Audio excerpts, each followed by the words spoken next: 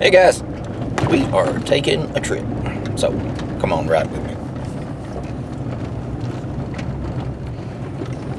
I'm gonna take you and show you a coal belt line. When they bring it out from underground, there's miles and miles and miles of coal mines directly under us, about 1,400 feet. Well, a lot, a lot more shallow than that, but those have all played out. So now they're working about 1,400 feet down at this one mine, and they have, I want to say, seven miles of belt line that bring the coal to the surface. They call that the slope, and then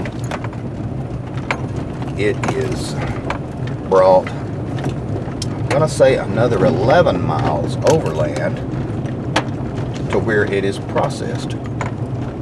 So we are on some rough stuff and uh, wait till you see the four-wheeling that we're going to have to do. More to come. Now, I'm going to zoom you all the way up as far as I can. That's where we were. That's where we are. That building way there where we're going to do some work.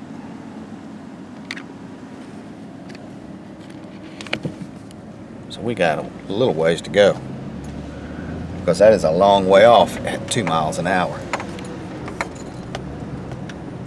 And uh, you just got to be careful not to break the truck.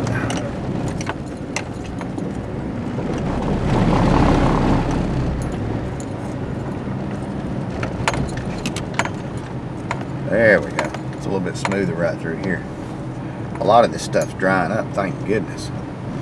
Because it was nasty this morning. I've been out here since 8. It's 5 o'clock. It'll probably be a 16 hour day here. Ah. But it is sometimes. So, okay guys, I am where I need to be and you might be able to see that building. There's a lot of glare on the mirror though. And I want to show you how far this goes.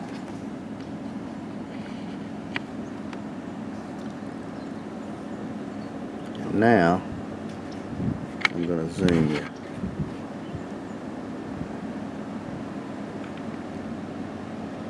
And you can just barely make off as it goes over that mountain in the distance.